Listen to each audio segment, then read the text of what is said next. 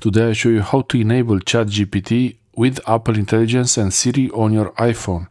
You can have Siri to add ChatGPT functionality. You go to the settings and go to Apple Intelligence and Siri.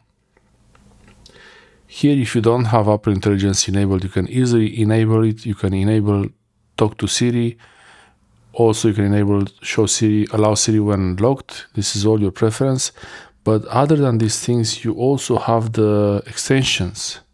And soon, from what I was reading in the news, there will be also Google Gemini. From what I was reading on the news, uh, this is not really confirmed yet, but Apple might have here in the Siri and Apple Intelligence also a Google Gemini extension. So that's great.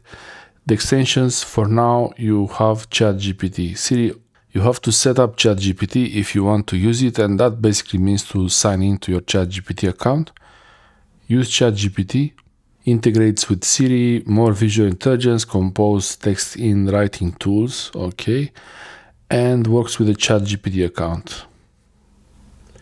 Accounts are optional with the ChatGPT subscription. iPhone can use the most powerful capabilities.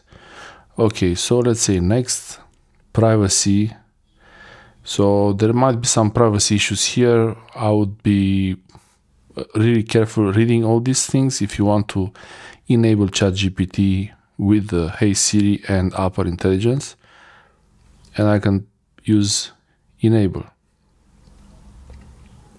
So I have here the option for the app and you can choose to sign in to ChatGPT but you don't really have to sign in. You can also sign in to ChatGPT so I could sign in and that will open the OpenAI auth I am signed in with my Google account and I can use ChatGPT extensions right now. You can also sign out, you can easily sign out. You can still use ChatGPT with Siri writing tools and visual intelligence if you are signed out. So after I signed out and I can still use ChatGPT like this, hey Siri, what are the best functions to use with ChatGPT and Siri?